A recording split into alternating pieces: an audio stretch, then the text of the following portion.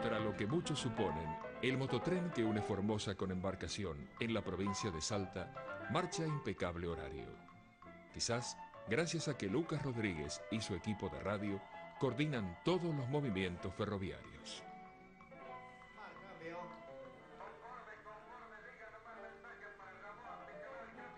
Sí, hoy no puede viajar la señora en razón de haber surgido. Este tal vez sea una excepción a esa regla de centralismo excesivo, cuyo punto terminal o vértice representa la ciudad puerto de Buenos Aires.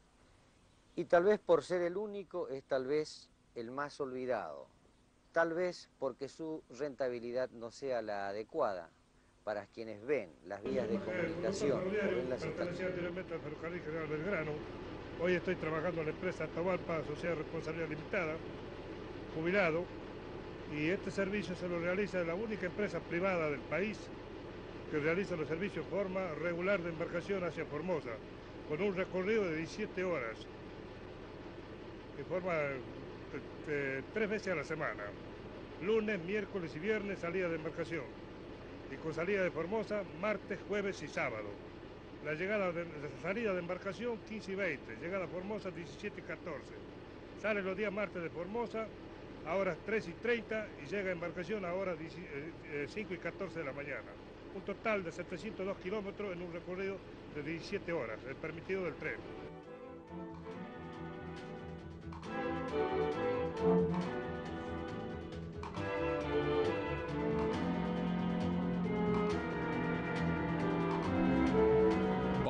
Valenzuela nos habla de su trabajo durante los periodos de inundación.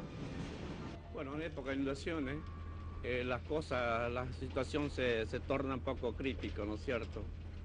Eh, en mis funciones, por ejemplo, este, se, tiene que, como es, solicitar a veces colaboraciones a la población, en fin, la gente se comporta fielmente con, la repartición con agua y energía en ese aspecto. Todas las necesidades, por ejemplo, en fin. Eh, claro, yo por ejemplo como agente de la zona ya soy prácticamente familiarizado, tengo, eh, vendríamos una, una familia, ¿no es cierto?, con la población. La inundación, un castigo cíclico que atrapa a los formoseños agravando la marginalidad provincial. Regreso a mi pueblo cada vez que tengo oportunidad. Em, Pozo del Tigre es una población que consta más o menos con 3.500 habitantes. Es un pueblo chico, ¿no es cierto? Pero muy lindo, pintoresco, como eh, también se pueden encontrar aborígenes, ¿no es cierto?, que em, viven allí algunos eh, ya civilizados, pero se podrá también encontrar si uno entra un poco hacia el monte, ¿no? Em, aborígenes bastante, ¿no? Con sus ropas características. Bueno, ¿qué más les puedo contar de Pozo del Tigre? Bueno, las, este, los medios de transporte, bueno, como se verán, este es uno de los medios, el coche motor. Después tenemos em, los ómnibus, pero pasa que los ómnibus cuando llueve no pueden a veces llegar, ¿no? Porque mm, como no está toda asfaltada la ruta 81, está hasta Estanislado del Campo, o sea, de Estanislado del Campo a Pozo del Tigre dista 30 kilómetros, más o menos, así que se hace un poco este, problemático en tiempos de lluvia. La necesidad del tren se evidencia en los recuerdos del inspector Orellana. En una oportunidad en la estación Pirané subió un señor que se eh, encontraba accidentado, que tuvo que llegar a esta localidad de la Lomita para ser asistido en la sala primera de auxilio. La empresa tuvo que hacer todo lo posible, todos los medios para hacerlo llegar hasta la mencionada localidad para ser atendido por los médicos. Y de esa manera se salvó la vida. La familia Brites en pleno, en cambio, tiene sensaciones más placenteras después de muchos años de trabajo, disfruta de este viaje de vacaciones. Bueno, yo voy a, Salta, camino a Salta con mi chico, con mi esposo. Nos vamos de vacaciones, él trabaja en la, en la policía de Formosa, nos vamos unos días a pasar las vacaciones, la licencia que él tiene. Es la primera vez que nos toca este viaje. Ah, y espero que pasemos bien la vacación en Salta y estemos de vuelta a Formosa. Al llegar a la estación Palo Santo, luego de varias horas de viaje, el único ferrocarril privado del país nos deposita en el epicentro de una actividad económica que en Formosa ocupaba a numerosa mano de obra. La producción de carbón vegetal con destino a los altos hornos de Zapla y otros centros de consumo. Un documento de la Subsecretaría de Planeamiento de la provincia da cuenta de que la principal riqueza de Formosa es su tierra, que en general se encuentra no utilizada o subutilizada.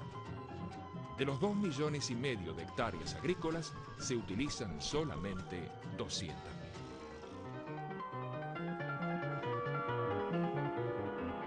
Las recientes inundaciones han provocado pérdidas difícilmente superables.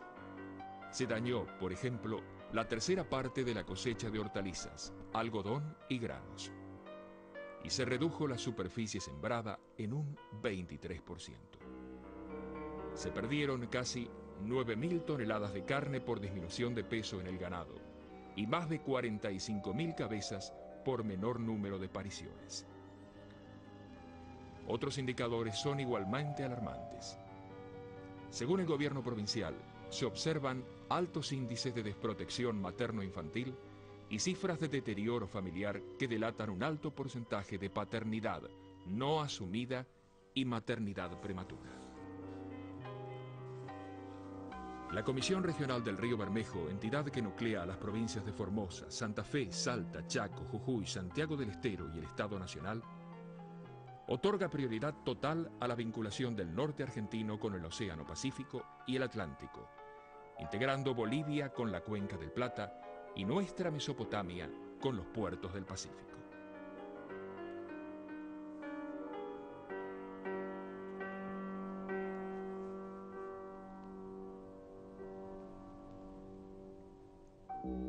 Para ese objetivo, la reactivación de esta red ferroviaria, la pavimentación de la Ruta Nacional 81, que corre paralela al trazado de este tren, constituyen un trabajo más que imprescindible.